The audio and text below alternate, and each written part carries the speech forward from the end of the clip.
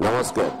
ଶାରଦୀୟ ଦୁର୍ଗା ପୂଜା ଉପଲକ୍ଷେ ମୋର ସମସ୍ତ ବାଲେଶ୍ୱରବାସୀ ତଥା ମୋର ଛୋଟ ବଡ଼ ଭାଇ ଭଉଣୀ ଗୁରୁଜନ ଲଘୁଜନ ମୋର ଯୁବସାଥୀ ସମସ୍ତଙ୍କୁ ଶାରଦୀୟ ଅଭିନନ୍ଦନ ଓ ଶୁଭେଚ୍ଛା। ପ୍ରତିବର୍ଷ ଯେଭଳି ଭାବରେ ଶାନ୍ତି ଶୃଙ୍ଖଳା ଓ ଭାଇଚାରା ବଜାୟ ରଖି ଦୁର୍ଗା ପୂଜା ପାଳନ କରାଯାଏ ମୁଁ ଆଶା କରିବି ଏବର୍ଷ ମଧ୍ୟ ସେଭଳି ଭାବରେ ଦୁର୍ଗା ପୂଜା ପାଳନ କରନ୍ତୁ ସମସ୍ତେ।